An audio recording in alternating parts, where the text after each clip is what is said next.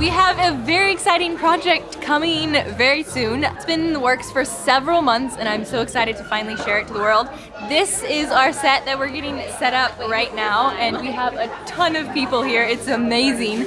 And we've got our dancers helping set up and then my brother and his girlfriend flew in from Florida to help film.